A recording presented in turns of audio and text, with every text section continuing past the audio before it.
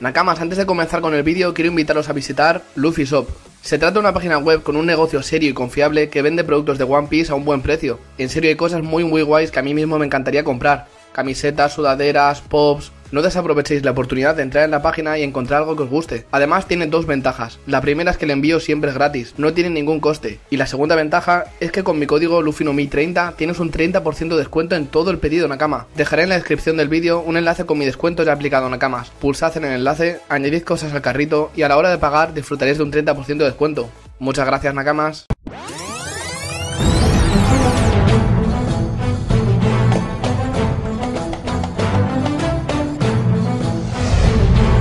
Muy buenas nakamas, ¿qué tal estáis? Espero que muy bien. Hoy os traigo un vídeo muy interesante y es la continuación del análisis de las victorias de nuestro querido cocinero, Sanji. Esta seguramente sea la segunda parte y la última, ya que me he dado cuenta de que el pobre Sanji no tiene muchas más peleas, y en la primera parte del vídeo ya hablamos de bastantes de ellas, vídeo que os recomiendo ver si os está gustando esta serie. Por lo que en este vídeo haremos como en el resto, analizar un poco la pelea del personaje y si realmente era más fuerte que su rival y la victoria era merecida. Además, en el final de este vídeo, al no poder hablar de tantas peleas de Sanji, analizaré un poco su presente y futuro, hablando de las peleas cortas que ha tenido recientemente y lo que espero de su poder. Así que nada, Nakamas, va a ser un vídeo entretenido y más entretenido es dejar un like en mi vídeo y escuchar el sonido personalizado que suena en YouTube cuando pulses el botón de suscribirse. Comencemos.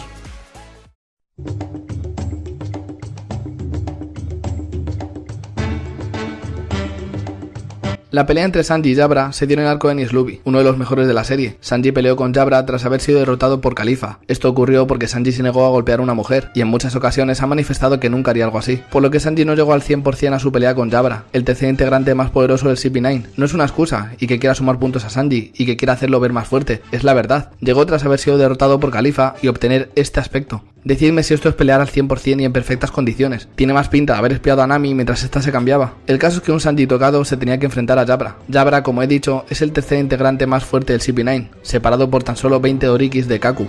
Jabra también dominaba el Rokusiki, estando en su caso especializado en el Tekai Kenpo, una técnica que le permitía moverse mientras utilizaba el Tekai, dotándolo entonces de bastante fuerza y defensa. Jabra además había consumido hacía un tiempo la Inu Inu no Mi modelo lobo, siendo esta una Zoan que le hacía muy poderoso físicamente, la especialidad de las frutas tipo Zoan, y mucho más en las carnívoras. Combinaba sus ataques en forma de lobo con el Rokusiki para volverse más letal y hacer más daño con sus garras. Su pelea con Sanji comenzó cuando este apareció para salvar a Usopp, ya que Jabra le estaba atacando sin piedad tras haberlo engañado. Una vez más, Sanji aparece épicamente para salvar a alguien, como por ejemplo ocurrió en Dressrosa o Panhazar. El caso es que por momentos Sanji y Jabra estaban parejos, Sanji utilizando sus ataques con patadas y el miembro del CP9 transformado en lobo y utilizando técnicas del Rokusiki. La pelea está bastante bien además. Todo cambia cuando Sanji utiliza por fin su power up, el Diablo Jumble, que además estrenaba en este arco, y con esta técnica dos golpes bastaron para derrotar a Jabra. Dicho todo esto, queda hablar sobre si la victoria fue justa, y Sanji de verdad era más poderoso que su adversario. En mi opinión, Sanji sí que era más fuerte. Le dio pelea sin utilizar el Diablo Jumble a un miembro del CP9 poderoso, y encima transformado, y cuando utilizó su mejor técnica con dos golpes lo despachó, por lo que aunque creo que Jabra se veía poderoso, Sanji estaba muy por encima de él. Algo que es bueno, pues Jabra tenía un gran nivel, así que hubiese molado ver una pelea entre Sanji o Zoro con sus power up contra Luchi, con sus 4000 Dorikis, para ver cómo se hubiese desarrollado el combate, y comprobar un poco más dónde se encontraba la fuerza de estos dos miembros del trío monstruoso. La idea de los Dorikis era genial para medir el poder en One Piece, pero One Piece no es Dragon Ball, así que no podía utilizarse en todas las sagas, pues hubiese sido cansino, aunque en parte es una pena, pero son series diferentes. Victoria para Sanji y merecida a mi parecer.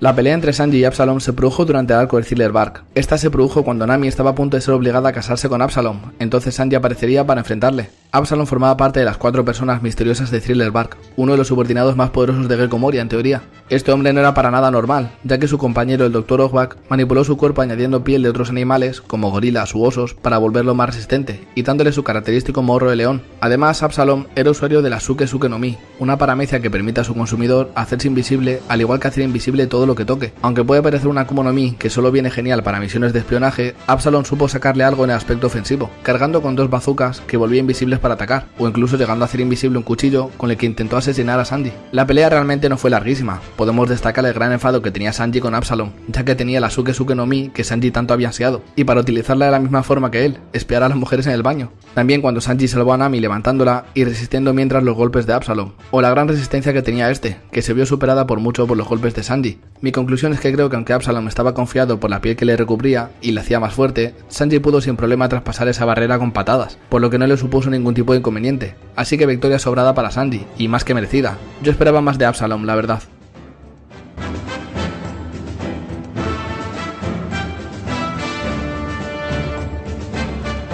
Esta no es una pelea muy muy seria, pero sí que es entretenido el conflicto, y no está de más recordarlo. Esto pasó después del arco de Thriller Bark y antes de Sabaody, en el episodio 386 del anime. Los Mugiwara se encuentran con un hombre y su banda de secuestradores. Este se llama Duval Máscara de Hierro. Ninguno sabíamos que estábamos a punto de presenciar una de las situaciones más raras que podría ocurrir en One Piece, y es que Duval deseaba con todas sus fuerzas matar a Sanji, alegando que era por algo que él le había hecho pero al ir con la cara cubierta ninguno sabíamos quién podía ser. Seguro que en ese momento todos estábamos haciendo teorías pensando en quién sería, pero Luffy de un golpe consigue quitarle la máscara de hierro y desvelar su verdadera identidad, la cara que aparece en los carteles de recompensa de Sanji. Entonces Duval es quien explica la historia y dice que ha sido perseguido por culpa de ese cartel y de Sanji. Pero en contraposición, Sanji también se enfada con él por tener esa cara. Bueno, todo concluye con un ataque de Sanji llamado Parage Shot, el cual cambiaría de muchísimos golpes en la cara a Duval su aspecto, logrando que se vea más guapo, e impidiendo que sea perseguido por los cazarrecompensas y por la marina durante más tiempo.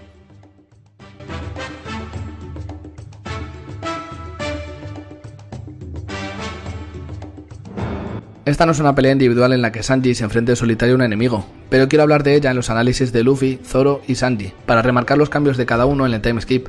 Previamente habíamos visto a Sanji derrotar a un pacifista de un golpe junto a Zoro, pero en esta ocasión, de camino a la isla de los Mugiwara se encontraban con este Kraken. El trío monstruoso salía al agua para enfrentarlo. Como he dicho, nos centraremos en Sandy. Sandy, en primer lugar, utiliza su técnica Blue Walk para salir de la burbuja que le permitía respirar bajo el agua, para moverse a gran velocidad por ella tan rápido como un Yorin. Además, hay que pensar que su cuerpo debe ser muy resistente, ya que la presión del mar no lo aplastó, y eso que se encontraban a muchos metros de profundidad y había salido de su burbuja de aire. Luego le vemos utilizar el Diabel Jumble bajo el agua, logrando poner en llamas su pie a esa profundidad y de un fuerte golpe quemar gran parte de la superficie un tentáculo de su como no he parado de repetir, esto tiene mucho mérito porque es debajo del agua, a muchos metros de distancia de la superficie, corriendo muy rápido, generando fuego, incluso quemando al rival, bajo el agua, por lo que se notó hoy mucho el cambio por el time skip en Sanji.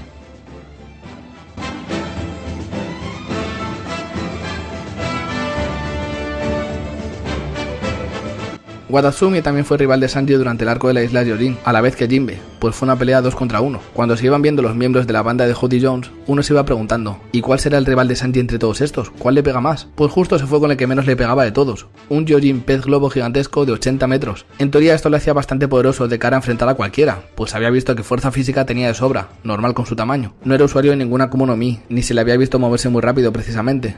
Lo único que puede decirse a su favor es que medía 80 metros. En la plaza de Concordia se enfrentaron Jinbe y Sanji contra él, y los ataques de los Mugiwaras parecían efectivos pese a su tamaño. Incluso cuando este se hinchó más, Jinbe pudo hacerle mucho daño con el Yojin Karate, para que saliese volando y más tarde Sanji en el aire con sus nuevas técnicas y su Hell Memories le prendiese en fuego de una sola patada, a un monstruo gigantesco además. No es que nadie pensase para nada que Wadatsumi pudiese vencer a Sanji o Jinbe, y menos cuando los Mugiwaras vienen de un time skip y tienen que verse muy fuertes, pero Sanji sí que dio muy buena imagen y se le vio muy chulo pudiendo vencer sobrado a este monstruo. Esta es la última pelea oficial que veremos. Ahora hablemos de las peleas de Sanji sueltas y de su futuro.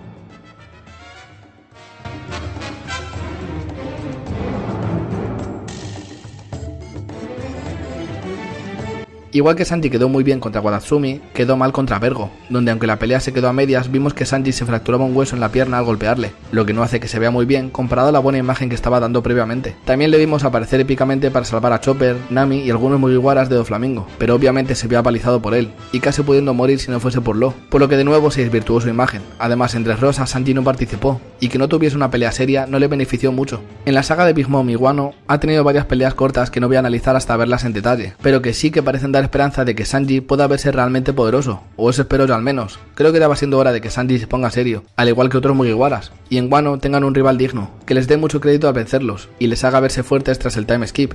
Creo que Sanji y Chopper, por ejemplo, son los que más necesitan de esto. Pero esto no es el final del vídeo, aún queda hablar de una victoria dolorosa para Sanji que he dejado para el final, por ser algo dudosa por su contexto, pero hablemos de ella.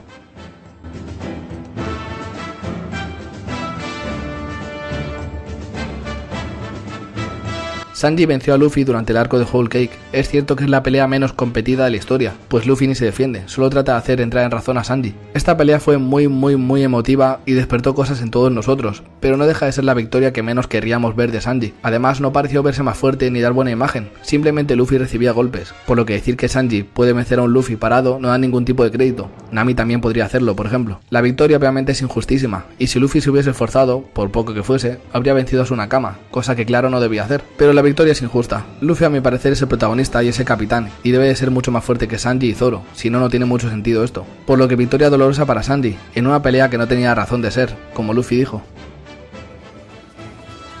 Bueno, Nakamas, hasta aquí llegaría el análisis de las victorias de Beansmoke Sanji. Como podéis haber visto, hay de todo. Peleas justas, injustas, reñidas, en las que Sanji gana sobrado. Las peleas de Sanji siempre me han gustado en el anime, por lo que estoy deseando que derrote a un rival muy poderoso y así vuelva a tener mejor imagen. Pues hay gente que lo ha criticado mucho tras la que Oda dijo que era su saga. Así que habrá que esperar para ver qué pasa. ¿Con quién creéis que se enfrentará Sanji Wano o Nakamas? Dejadlo en los comentarios. Y no olvidéis dejar un buen like y suscribiros al canal si aún no lo habéis hecho. La gran mayoría de personas que veis mis vídeos no estáis suscritas. Y me ayudaríais mucho haciéndolo y convirtiéndose en mis Nakamas. No os defraudaré. Nos vemos en el siguiente vídeo. Un saludo Nakamas.